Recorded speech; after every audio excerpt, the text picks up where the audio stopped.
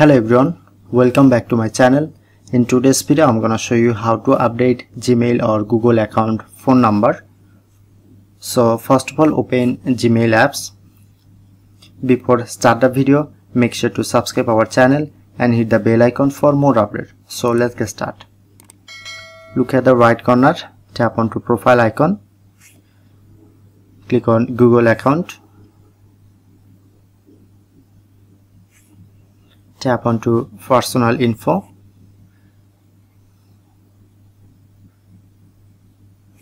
Select the contact option phone number tap onto pen icon click on update number and here you can easily update your phone number.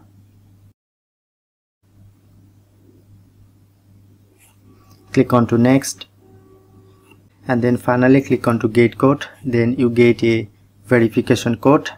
You need to first verify your updated phone number then successfully update gmail or google account phone number. So that's how you can do it